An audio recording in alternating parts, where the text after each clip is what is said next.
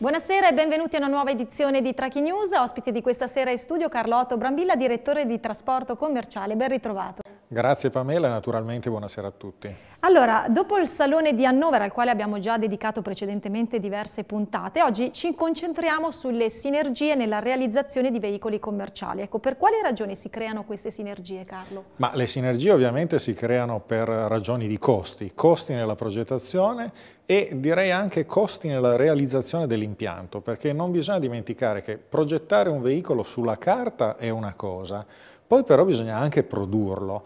Eh, I veicoli commerciali, soprattutto quelli più grandi, hanno degli stampi e delle catene di montaggio che non sono quelle automobilistiche, hanno una dimensione enorme.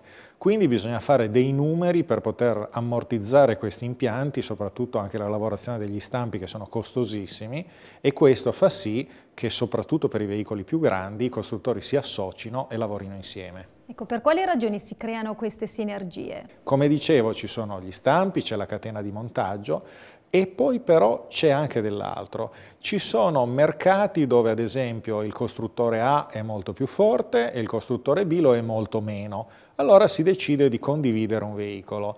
Eh, a volte capita al contrario, a volte si compete sullo stesso mercato, a volte questi mercati sono in continenti diversi dove veramente i marchi sono addirittura cambiano e diventano marchi locali. Quindi ci sono ragioni molto diverse dalla tecnica pura e semplice. Ci sono anche ragioni commerciali, ragioni di budget e così via. È tutto l'insieme dell'industria automotive. Ma comunque queste sinergie si creano solo per furgoni grandi o anche per quelli piccoli? No, si creano anche per quelli piccoli, anzi forse si creano di più per quelli piccoli, perché il furgone furgone piccolo, bene o male, è come un'automobile, ha la stessa struttura, la motorizzazione automobilistica, eh, ha magari due varianti di passo, tre ipotizziamo, un paio di varianti di altezza, ha ovviamente una versione passeggeri, quindi è un'automobile da certi punti di vista, viene anche immatricolato M1, oltre che N1, e quindi eh, la sinergia è importante, anche perché di questi veicoli non se ne riescono a produrre centinaia e centinaia di migliaia come si fa per un'utilitaria qualunque, perché in fondo si tratta di un'utilitaria. I numeri sono quelli di una miraglia, di una miraglia che costa 100.000 euro, però i margini su una vettura da 100.000 euro sono molto diversi di quelli da un mini furgone da 10.000 euro e questo è chiaro che spinge, fa sì che mh, i costruttori vengano spinti a collaborare tra di loro, a realizzare o un progetto in comune o direttamente a comprare il veicolo da un concorrente con quella che si chiama un'operazione di rebadging, ovvero rimarchiandolo. Ecco, invece da un punto di vista dell'assistenza, visto che sono comunque molto simili, sono assistiti dalla stessa rete?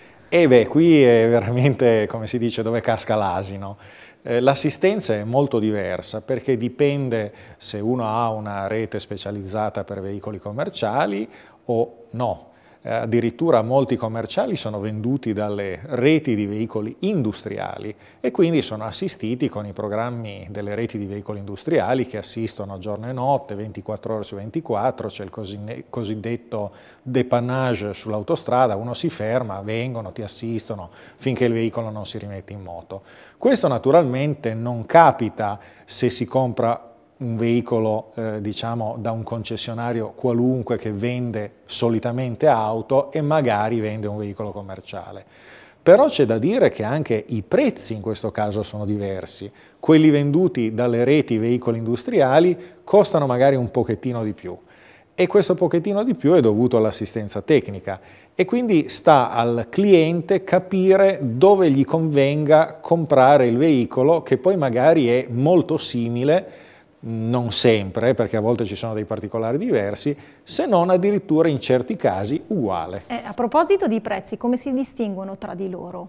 Beh, si distinguono in modo molto difficile, perché è chiaro che a quel punto le case non hanno interesse a far capire eh, quale sia il prezzo reale. Adesso non voglio fare nomi, perché sarebbe sbagliato, però eh, ci sono proprio delle operazioni di marketing dove una serie di accessori sono di serie, un'altra serie di accessori sono a richiesta, ci sono delle motorizzazioni che sono leggermente diverse, magari in taratura, ci sono altri che invece hanno proprio motorizzazioni diverse. E allora i prezzi cambiano, Cambiano poi le garanzie, c'è chi offre il classico anno previsto per le partite IVA, chi due, chi tre, chi cinque, insomma c'è un po' di tutto. E qui è molto difficile capire veramente come fare, eh, dove comprare, a che prezzo e poi naturalmente c'è anche il discorso del, del, prezzo piazzale, che è una cosa molto importante che nei veicoli commerciali c'è ancora. Il classico veicolo di lunghezza media, altezza media, situato sul piazzale, di solito bianco, costa veramente spesso molto molto meno, anche se è un veicolo introdotto da poco. Abbiamo dato quindi comunque delle indicazioni importanti. Ecco, invece come cambieranno le alleanze nei prossimi anni? Ma le alleanze stanno, sono già cambiate perché eh, sappiamo che eh, PSA, ovvero il gruppo Peugeot Citroën, è andato a costruire minivan per ora, piccoli furgoni, eh, con Toyota e eh, abbandonando il gruppo Fiat. Il gruppo Fiat ha eh, questa alleanza ancora con PSA che scade tra il 2018 e il 2019 per la costruzione del Ducato e bisognerà che si trovi un altro alleato. Poi ci sono altre situazioni, ad esempio Volkswagen faceva costruire i propri veicoli alla Daimler insieme allo Sprinter. Ma per tornare indietro ci sono poi tantissime situazioni dove parti del veicolo vengono vendute tra un costruttore e l'altro. Ne vorrei sottolineare una che eh, non svegliamo nessun mistero, per, e poi è anche una collaborazione che non esiste più, quindi, ma è tanto per far capire.